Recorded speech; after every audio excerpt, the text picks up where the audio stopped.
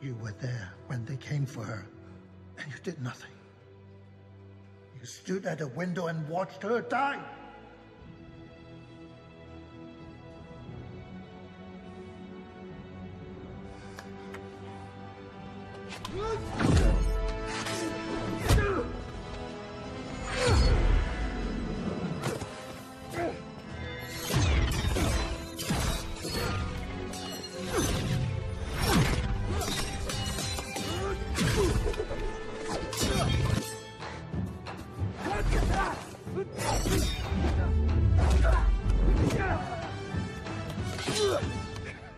She was gone, and we needed you.